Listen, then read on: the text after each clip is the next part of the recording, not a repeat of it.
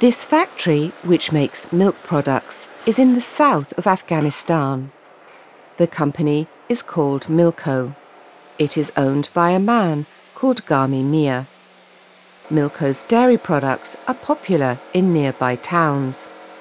But the land around the towns is controlled by the Taliban. This makes the area unsafe. Mia has to please the government and the Taliban. This isn't easy, and both sides tax Mia's business. Sometimes the government takes his milk products too.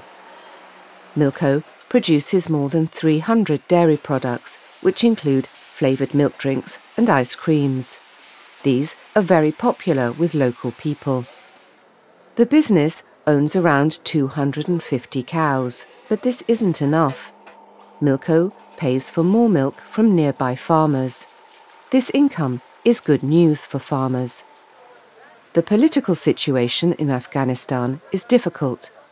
Fighting between the Taliban and the government has got worse recently. Mia is afraid that Milko may have to shut. He worries about what will happen to the milk farmers if Milko closes. Talks between the government and the Taliban are about to begin. People hope that these talks might make things better.